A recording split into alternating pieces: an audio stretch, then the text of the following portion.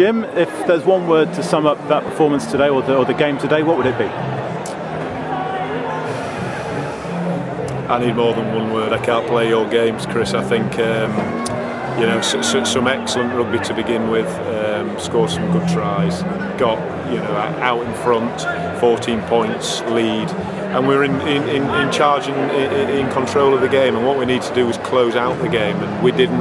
We gave them the opportunity to came back. I don't think they sort of forced their way. We gave them that opportunity, and they took it. And and and in the end, we were very lucky to win the George Pisi's second try in, in, the second half came, you could say, a little bit against the run of play and, and was very crucial.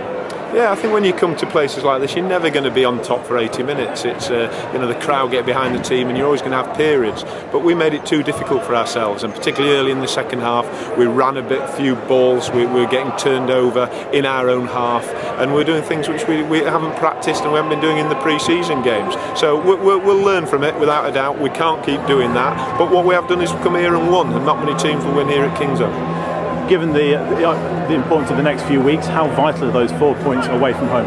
Yeah, absolutely. Uh, we, we said, said, before the game how vital it is to get off to a winning start, and particularly if you're playing away from home, if you can do that. But we've got to back it up now, and um, we've got Exeter next week, and by the sounds of it, they've, uh, well, I know they were winning easily at Sale, whether they've won or not, but that, that'll be difficult, whatever. They're a good organised side, they are. Uh, but, you know, we've got a chance now of, of, of going two from two, and, and we've got to take small steps three debutants starting today, uh, GJ van Velze and uh, Ken Pisi and Dom Waldouck. How do you think they got on? I think they got on really well. I think they, um, they, they, they, fitted into our game plan very, very well and uh, really pleased. Unfortunate that GJ um, got Simbin, but that was you know really the team being under a little bit of pressure there and the two backs played, played very well.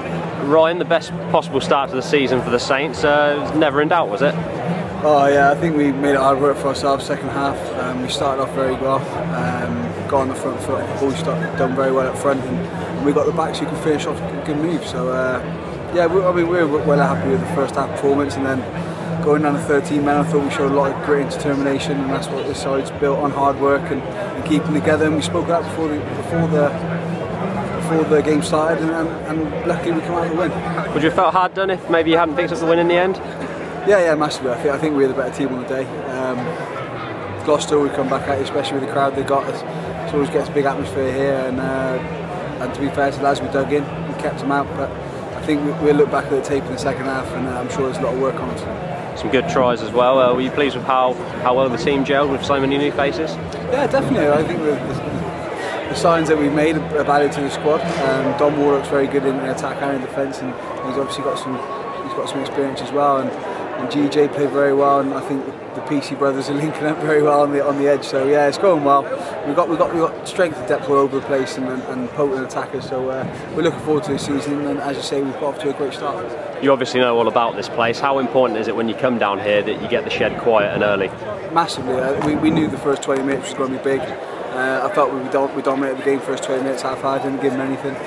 Um, our forward pack was fantastic, got them driving back, and, and then, then it kind of it, it, makes it easier. But as I say, you, you know, coming to a place that is always going to make it tougher, um, and and we struggled in the last 20 minutes, especially going on 13 men. Never helps. But uh, I think the boys dug in very well, and, and that's the kind of start we needed. Just very final word, a great bit of momentum to take back to the Gardens next week for Exeter. Yeah, massively. Uh, Exeter's very similar kind of side to Gloucester. Worked very hard um, and they've got a big fan base, so I'm sure the atmosphere is going to be brilliant. But we want to make uh, Franklin's Gardens a fortress this year. Um, and we're confident going into every game. But Exeter's going to be a tough, tough game, and we have to we have to learn from our mistakes, especially our second half today.